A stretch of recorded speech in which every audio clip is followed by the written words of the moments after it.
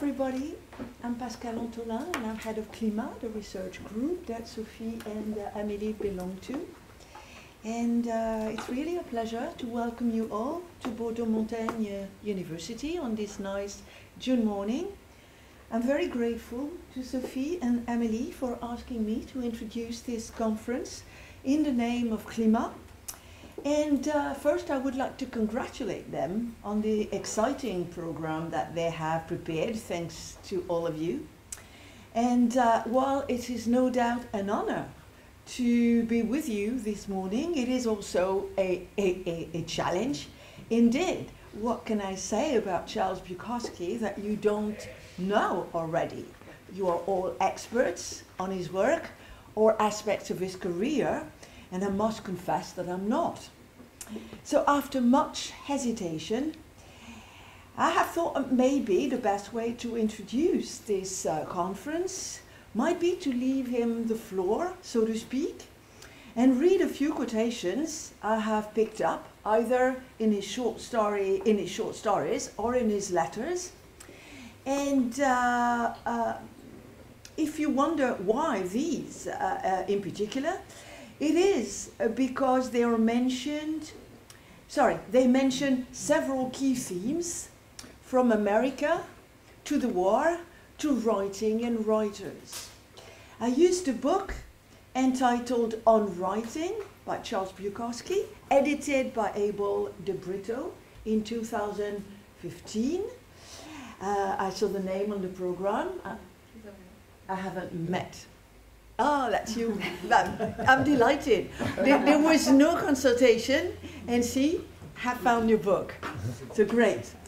Uh, so I will start with a passage from a short story entitled Kid Stardust on the Porterhouse, published in the collection The Most Beautiful Woman in Town, first published in 1967, and I quote, You had to be a winner in America.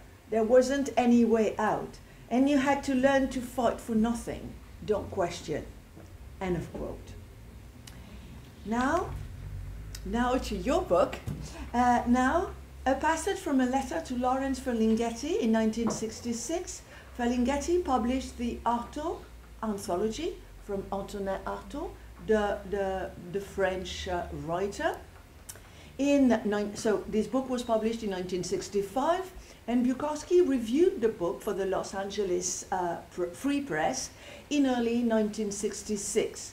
And he writes, quote, on the Artaud, I found many of, these, of his thoughts extremely similar to my own, in fact. I had the feeling, as I read, that I had written many of the lines. Bullshit, of course, but he's one of the few writers who makes me feel that I can't write at all. I don't get this feeling very often. End of quote. Now a letter to Robert Head on October 18, 1967. I quote, this is a longer quotation. Well, they get longer and longer, actually. I don't know why. So, quote, I was anti-war a long time ago, at a time when it was not popular or in to be so. It was a very alone situation, World War II. It seems that, from the intellectual and artistic viewpoint, that there are good wars and bad wars. To me, there are only bad wars. I'm still anti-war and anti a hell of a lot of other things.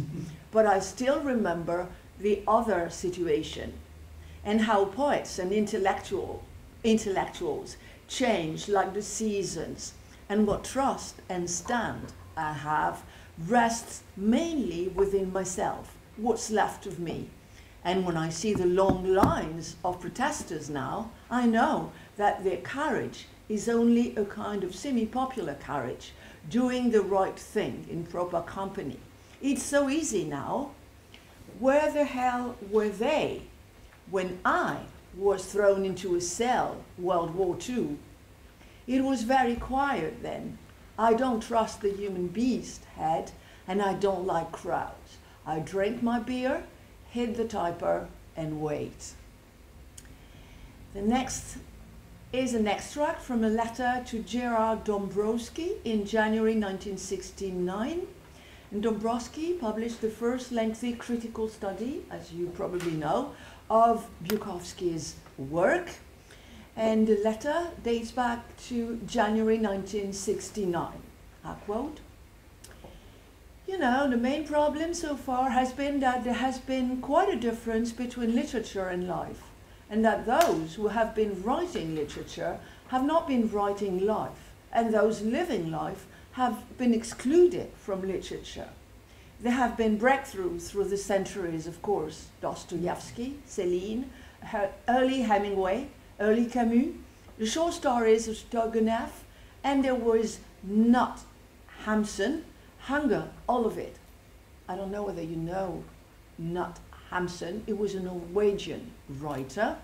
Kafka and the prowling pre-revolutionary Gorky and a few others. But most of it has been a terrible bag of shit since 1955. There has been a throwback of the bag of shit.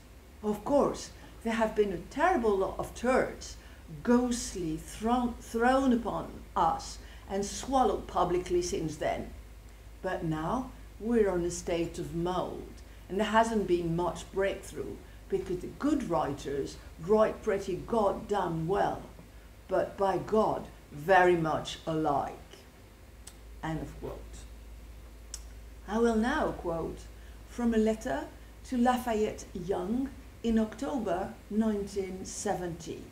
Quote, I have to drink and gamble to get away from this typewriter. Not that I don't love this old machine when it's working right, but knowing when to go to it and knowing when to stay away from it, that's the trick. I really don't want to be a professional writer. I want to write what I want to write. Else it's all been wasted. End of quote. And I will now conclude with a passage from a 1983 letter to Loss Pequeño Glazier, I quote, Take some poets, some start very well. There is a flash, a burning, a gumble in their way of putting it down. A good first or second book, then they seem to dissolve. You look around and they are teaching creative writing at some university. Now they think they know how to write and they are going to tell others how to. This is a sickness.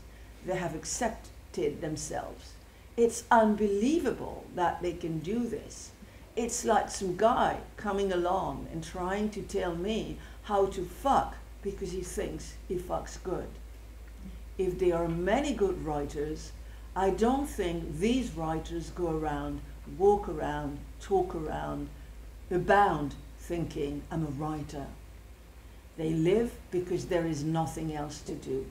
It piles up the horrors and the non horrors, and the conversations, the flat ties and the nightmares, the screamings, the laughters, and the deaths, and the long spaces of zero, and all that.